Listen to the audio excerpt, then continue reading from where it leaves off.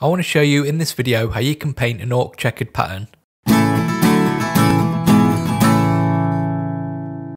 One of the more prominent designs you're going to find in an ork army is the infamous checkered pattern. It looks great and can add real character to your miniatures and army, but it can be a real pain to paint. But I want to show you how easy it can be. I'm going to show you the classic black and white scheme, but you can use whatever colour you want to use and the method is still going to be the same. Let's get started. Here are the paints I'm going to be using in this tutorial.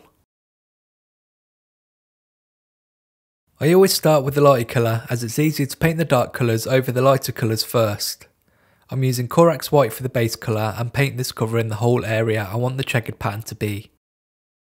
It's always a good idea to thin your paints first and I find an equal amount of water does the trick. You want to paint a couple of thin layers, this will give you a nice smooth, even finish to work from. You now want to rough out a grid to mark out the squares. It's up to you how big or small you want to make these, so use this step to decide as you can easily change your mind now before you start filling in those squares.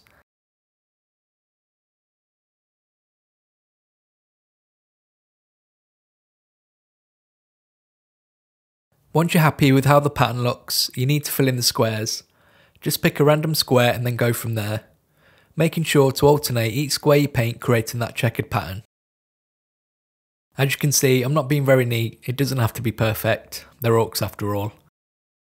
The lighter squares will tend to be smaller than what you want them to be because of the grid we painted at the start.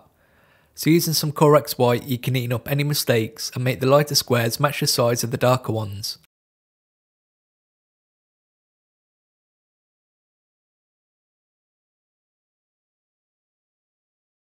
To finish off the pattern, you want to go in a final time with your darker colour just to make sure you're happy with everything.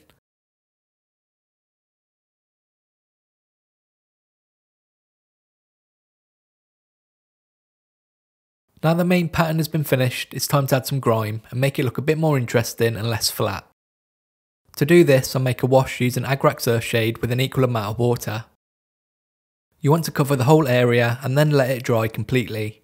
Just the once over will do, try not to mess with it, and let it do what it wants to do.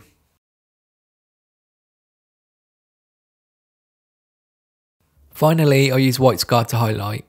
The easiest thing to do is to just run your brush along any edge next to the pattern.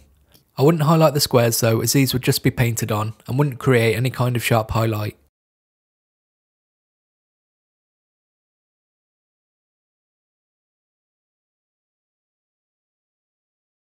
The checkered pattern is now finished and hopefully you can now go away and paint all the checkered patterns you've always wanted to paint.